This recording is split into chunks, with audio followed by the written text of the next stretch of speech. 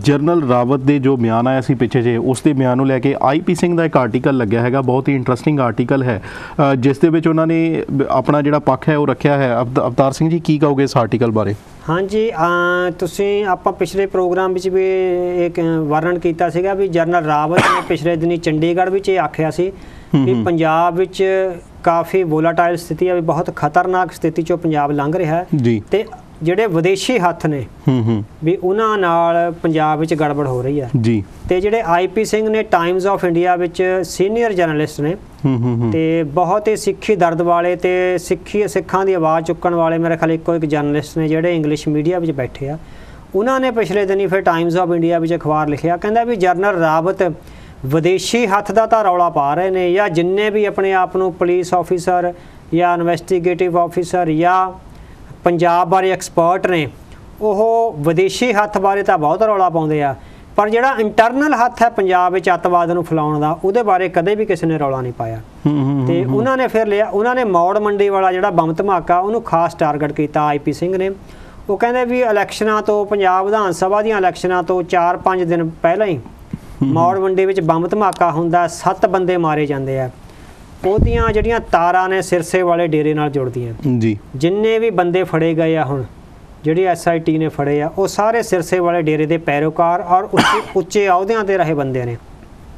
ਉੱਥੋਂ ਹੀ bomb blast ਲਈ ਉਹਨਾਂ ਨੂੰ ਡੈਟੋਨੇਟਰ ਸਪਲਾਈ ਕੀਤੇ ਗਏ ਉੱਥੋਂ ਹੀ ਜਿਹੜਾ ਧਮਾਕਾ ਖੇਜ ਸਮੱਗਰੀ ਆ ਉਹ ਸਪਲਾਈ ਕੀਤੀ ਗਈ।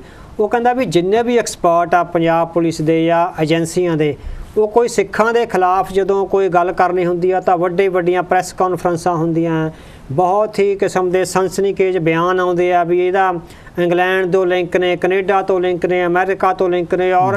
ਕਹਿੰਦਾ ਕਈ ਵਾਰ ਤਾਂ ਹੁੰਦਾ ਵੀ ਸਾਜ਼ਿਸ਼ ਕੋਈ ਹੋਈ ਵੀ ਨਹੀਂ ਹੁੰਦੀ ਵੀ ਉਹ ਤੋਂ ਪਹਿਲਾਂ ਹੀ ਜਿਸ ਤਰ੍ਹਾਂ ਐਡਵਾਂਸ ਕਹਿ ਦਿੰਦੇ ਵੀ ਅਸੀਂ ਐਡਵਾਂਸ ਹੀ ਬੰਦੇ ਫੜ ਲਏ ਨੇ ਹੂੰ। ਪਰ ਆ ਕਹਿੰਦਾ ਵੀ ਆਹ ਧਮਾਕਾ ਹੋਏ ਨੂੰ ਡੇਢ ਸਾਲ ਹੋ ਗਿਆ ਅਜੇ ਤੱਕ ਕੁਛ ਨਹੀਂ ਸਾਰੇ ਦੋਸ਼ੀ। ਫੜੇ ਗਏ ਨੇ। ਉਹਨਾਂ ਦੇ ਲਿੰਕ ਸਥਾਪਿਤ ਹੋ ਗਏ ਨੇ ਕਹਿੰਦਾ ਵਾਰ-ਵਾਰ ਪੁੱਛਣ ਦੇ ਬਾਵਜੂਦ ਵੀ ਕੋਈ ਇੱਕ ਪੁਲਿਸ ਅਫਸਰ ਵੀ ਬਿਆਨ ਦੇਣ ਨੂੰ ਤਿਆਰ ਨਹੀਂ ਹੂੰ ਹੂੰ ਹੂੰ ਜੀ ਕਦੇ। ਨਹੀਂ ਕਿਹਾ ਵੀ ਅਸੀਂ ਸਿਰਸੇ ਵਾਲੀ ਦੀ ਇਨਵੈਸਟੀਗੇਸ਼ਨ ਕਰੂਗੇ ਉਹਨੂੰ ਬੰਨ ਕੇ ਸਿੱਖ ਉਸੇ ਤਰ੍ਹਾਂ ਦਾ ਵਿਹਾਰ ਕਰਾਂਗੇ ਜਿਹੜਾ ਆਮ ਸਿੱਖਾਂ ਨਾਲ। ਪੁਲਿਸ ਥਾਣਿਆਂ ਵਿੱਚ ਹੁੰਦਾ। ਵੀ ਇਹਨਾਂ ਇੰਟਰਨਲ ਲਿੰਕਸ ਨੂੰ ਵੀ ਦੇਖਣ ਦੀ ਲੋੜ ਆ ਇਹ ਇੰਟਰਨਲ ਲਿੰਕਸ ਬਹੁਤ ਮਜ਼ਬੂਤ ਨੇ ਪੰਜਾਬ ਵਿੱਚ ਔਰ ਲਗਾਤਾਰ ਸਿੱਖਾਂ ਨੂੰ ਬਦਨਾਮ ਕਰਨ ਲਈ ਇਹ ਲੋਕ ਇਸ ਤਰ੍ਹਾਂ ਦੀਆਂ ਕਾਰਵਾਈਆਂ ਕਰ ਸਕਦੇ ਆ। ਸੋ ਐਕਸਟਰਨਲ ਲਿੰਕਸ ਦਾ ਤਾਂ ਕਹਿੰਦਾ ਜਨਰਲ ਰਾਵਤ ਨੂੰ ਵੀ ਪਤਾ ਹੈ। ਤੇ ਹੋਰ ਲੋਕਾਂ ਨੂੰ ਵੀ ਪਤਾ ਜਿਹੜੇ ਸੋ ਕਾਲਡ ਐਕਸਪਰਟ ਨੇ। ਪਰ ਇੰਟਰਨਲ ਲਿੰਕਸ ਬਾਰੇ ਕਦੀ ਵੀ ਬਿਆਨ ਨਹੀਂ ਦਿੱਤਾ ਜਾਂਦਾ ਨਾ ਉਹਦੀ ਇਨਵੈਸਟੀਗੇਸ਼ਨ ਕੀਤੀ ਜਾਂਦੀ ਹੈ।